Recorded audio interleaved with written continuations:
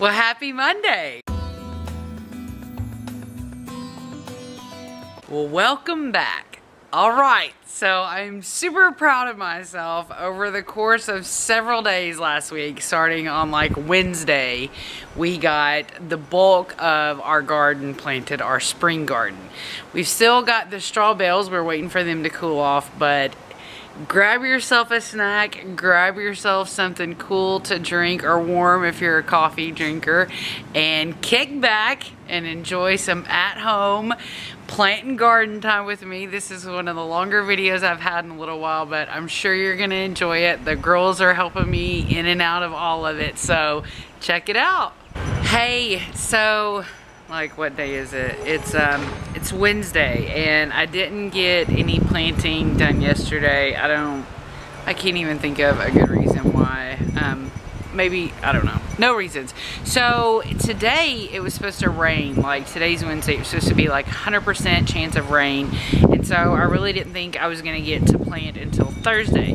However, I did pray for a little window of time in the morning to um, get some planting done, especially with some transplants that I have. Um, so I don't have makeup on, I don't look fabulous. I just have been scurrying around doing my job, um, my jobs here and the jobs that actually pay me. So we're gonna start over here at our brand new bed and um, bring you along. And I think the first thing I'm gonna plant are tomatillas. And tomatillas are kind of like tomatoes. So um, kind of and kind of not. Um, but one thing that's similar is, um, and if you watch my other video about tomatoes, is that you can actually, they'll produce roots off their stem. And my tomatillas are pretty tall and the leaf settings already don't start till like way up here.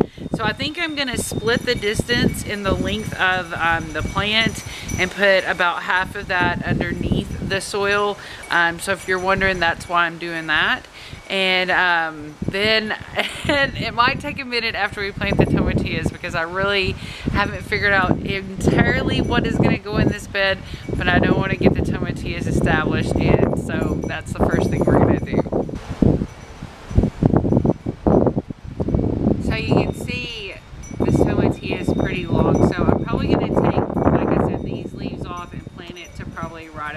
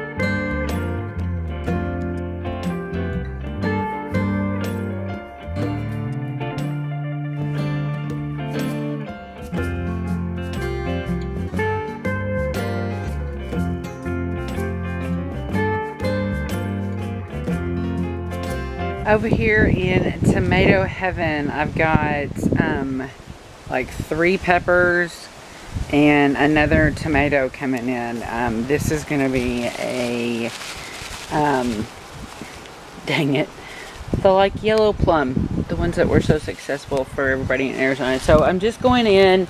I've kind of dug out a little hole for myself. I'm just putting a little bit of Epsom salt in here and one thing I forgot to do with the tomatillas is I forgot to douse their roots in um, the soil diva, but they're kind of weeds and everybody says that they like to kind of be treated roughly. So I'm not going to hold it against myself, but I am going to make up some soil diva to treat the roots of these plants that I'm about to treat. So check in a minute. Spring planting always means that it seems like we're going to find aphids. So These are the collards, one set of the collards that I transplanted from the bed and I noticed that one was going to flower. So I was like oh let me pluck that off and then I went to go pluck off the middle of this one and I just had to cut it off. So I'll watch the other piece to see if it's got aphids but this one right now is going to die. It was a yellow pear and like I said we're just gonna douse the roots really good with the soil diva let me get a better grip on this okay so just giving them all a real good soaking might pinch off some of the peppers tops here but these are, this one right here is like a lunchbox orange. This is a Serrano. And this one is the lunchbox yellow. So these are like the little mini bell snacking peppers. Now I'm gonna cover these puppies up and I'll be back with um, some azomite to go on the top and then I'm going to finish it with a little bit of screen compost that I've got on the patio and I'm racing time.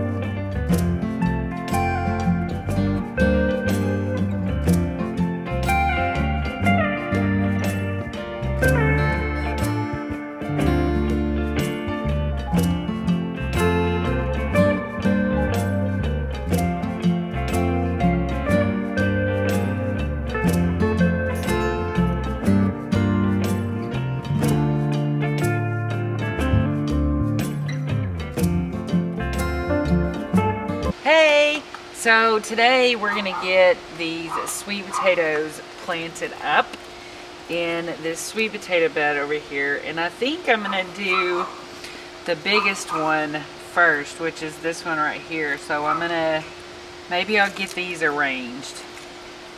You want to take that? Would you like me to put the water? So we've got this one we'll put maybe over there. And then we've got this one we'll put down here. And then we've got two little babies right here. So we'll put this one over here. And then we'll put this one back here. Put this one right here. And we'll put that one right there. So we're going to bury this whole sweet potato. And we've got a slip coming right up here on the top. So I'm going to try and make that be like almost close to the soil. And I've kind of got to make a trench for these hairs here. So I'm going to set this right here. And I'm going to go in and I'm going to cut a little bed out. So why are you covering the uh, uh, sweet potato itself? Because the sweet potato could grow more um, slips. You know what I'm saying? So we're going to leave this one here. And then I think I should make it deeper. Just a little bit deeper. Angle it up a little bit and make this part deeper. You're gonna have to cut this part out, but I was like, do you like me asking a bunch of questions? I don't mind. And I don't have to cut that out. People like it when you guys are hanging out, learning in the garden. So we're gonna bury all these roots that are kind of tangled up, like you guys' hair. Curve it that way. Nope, don't mash them together. Just we're gonna make them kind of curve that way.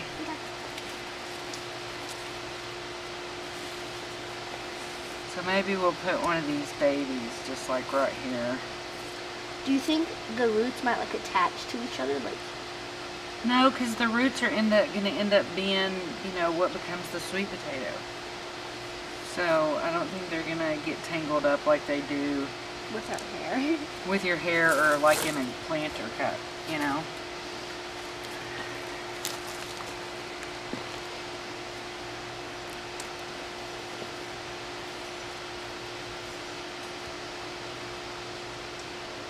What kind, What is that knife called? Well, the brand name of the knife is called a Hori Hori. Um, but this is kind of the generic version of it. But I like it. I like it a lot. It's good for cutting in soil and making spots for like new plants. Yep. I also have another question. Yeah. Um, why are the bamboo things there? Why can't you just let it open up? Um, because I wanted to build up the level of the dirt. So see how the dirt is higher than the sides of the pool? Yeah. Well, if that wasn't there, then it would just fall over the edge of the pool, right? Yeah. Yeah. So that's why. Dang old flies, you guys should wave your arms around so the flies can't get me. Whee! How kind of fun will be? Are you just burying the roots? Yeah.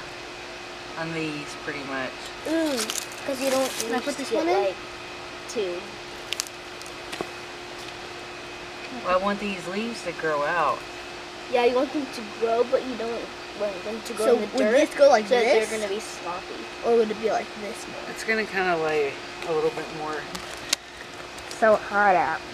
So hot. Mom, can you eat the these little buds of the edible flowers? It's better to let them develop. Well, that's our sweet potato bed. Boom! There's our sweet potato bed. Okay, now we're just gonna water it in with some soil diva. Everybody happy. These have been sitting out here for three or four days in their little container cups, kind of adjusting to the temperature, um, kind of hardening off. And you can kind of see that these older ones need some nutrition. So we're going to start out with the Soil Diva, and then next week we'll get them some fish emulsion. We're making um, seed tape. And we're gonna put carrots, carrot seeds because they're so small. Now this time, line it up. And don't do it in the crease. Right. So this is something I've actually um, I've shown you guys before a video back in September, and I don't think I ever got any further than making the seed tape. But I've got two different spaces in my bed, in my square foot bed, that we're gonna put carrots in. So we're gonna show you here. I'll mark those. We're gonna get the carrots out here, and um, we're gonna. I think we're gonna do some of the Danvers. Um, let's see. Maybe we should get these radishes out too, because we're gonna plant some radishes today also. These Danvers are, you know, just kind of like what your standard carrot that you think about, and they're gonna be, um, looks like 72 days. This is what our process is gonna be, because see how tiny these seeds are. So, Oh, are cute. yeah, they are so cute. Oh, can we tell them what the mixture is? Yeah, you can tell them. Um, inside of this uh, mixture, it's kind of gooey, and you'd like say, "What in the world is that?" But truthfully, it's just flour and water mixed together. So it's just equal parts. So it's like, so, okay, so I just want to show you, Maisie, because because we're gonna fold these in half. I just took a paper towel and I folded it until I got an equal number. So it's gonna end up being folded in half like that. And she kind of put the dot sometimes close to the seam So I'm just gonna go and I'm gonna put the dot really more where I want it, which is like right here. And I'm just gonna go along and I'm gonna make little dots like this. Put a little bit more on that one.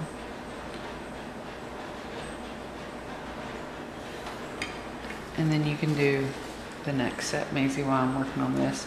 So then I'm just gonna come along here and I'm gonna get one little carrot seed and I'm gonna drop it into kind of our flour glue. And then I'm gonna fold it over and then we'll have some little homemade seed tape. And so seed tape is something that with some finer type seeds, you can buy these already made for you. Um, or you can make them for yourself. So we are looking to have a different kind of success with our carrots than what we've had in the past.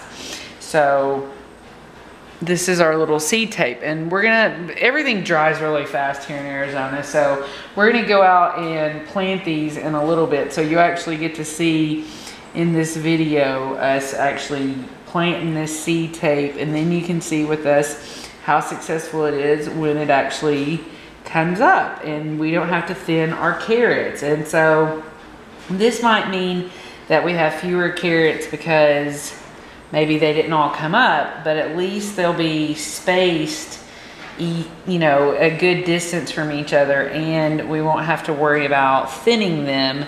Um, and so maybe we'll actually get some really awesome carrots out of there. So there's another one and we'll catch up with you in a minute when we put them out in the garden. We're heading out to plant these carrots and some transplants that we had going, but I also wanted to show you that I've got the, um, those are all okra seeds and kind of doubles of like, I need eight and that's probably 16.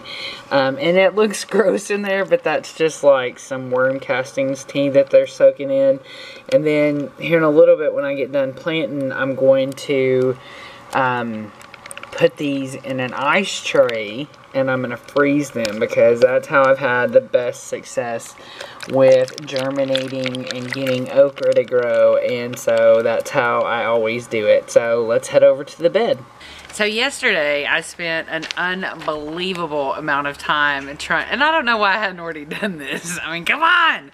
Um, but I spent a lot of time figuring out like what transplants I had, where I was going to put them in the bed and in the bales, and also what other things I needed to fill in. So right quick, we're going to fill in the transplants that are going to go on this bed, and we're also going to plant the carrots and the radishes, the seed tapes that we showed you earlier. We're going to plant those right now, and we're going to drop in all the transplants that we've grown already for this bed over here. So I'm going to start right here um, by this tomatia is where I'm actually going to set up my first um, set of carrots. And for square foot gardening, which we still pretty much go by that planting guide, you can plant 16 carrots in a square foot space. So I'm just going to start about right here and I'm going to move back um, some of the soil, which is kind of also like a, a mulch at this point because um, this is some of the thicker pieces of wood.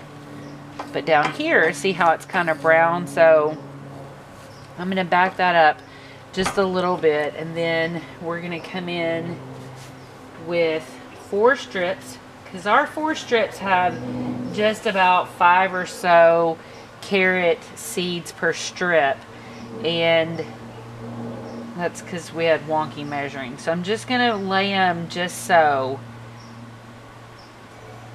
away from each other a little bit.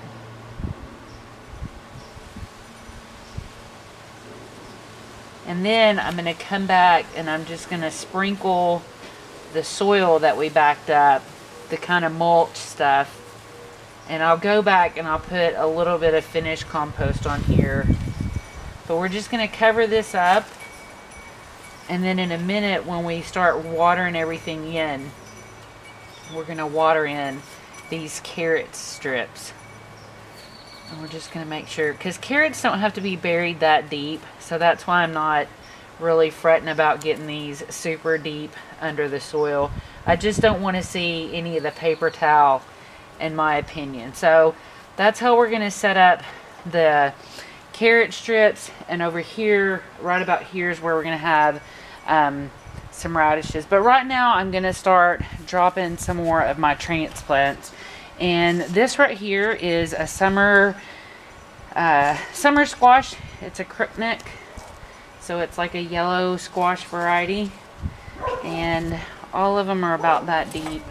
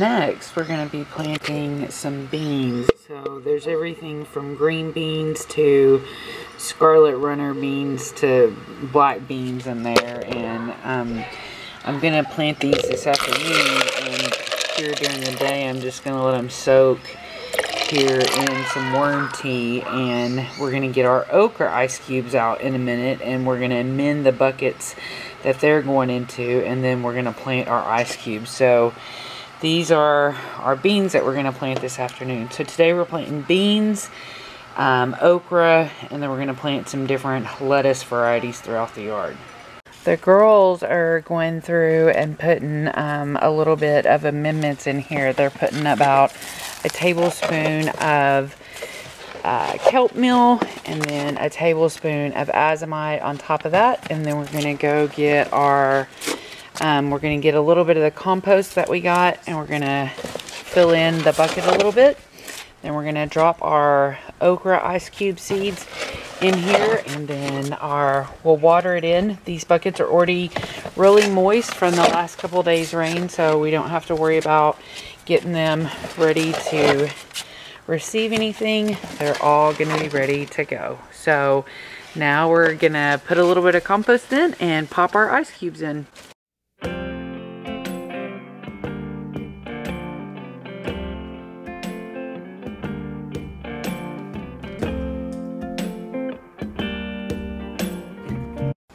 Okay, so we just dumped out our um, okra ice cubes into the little one's dress here.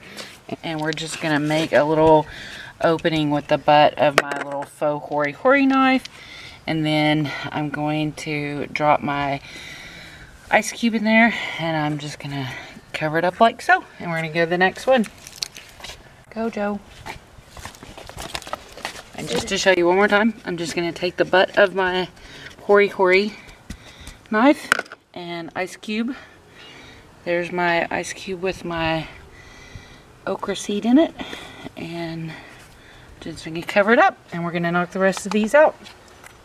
These are some loofahs that we're to put in these bags and some people say it's kind of eh transplanting them so I'm actually to throw some seeds in these buckets as well. So I'm to put one over here I'm to put one over here and then we're to soak some seeds tonight and we'll drop some more seeds.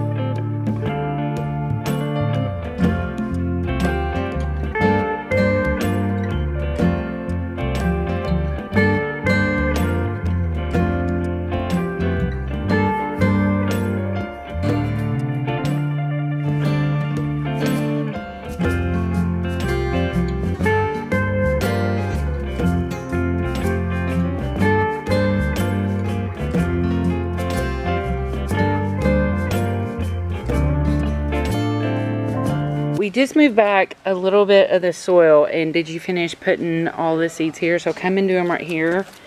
And then I'm just going to take this little bit of dirt here and I'm just sprinkling it back over the top that I moved out of the way. And we're about to water here in a minute. And so those will all get watered in really good.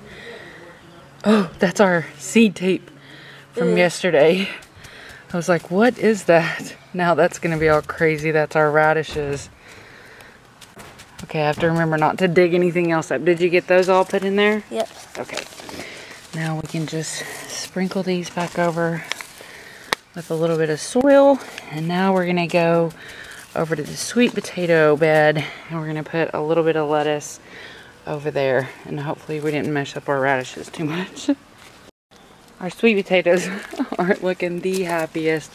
But we're just going to make like a little trail kind of through here. And from there is where we're going to just put a little trail of some lettuce seed. So Maisie, why don't you do these two marks and Josie, you can do those and we'll make a little slash here. So again, just I want you to put a little sprinkle here and move and move and move and just do small little sprinkles.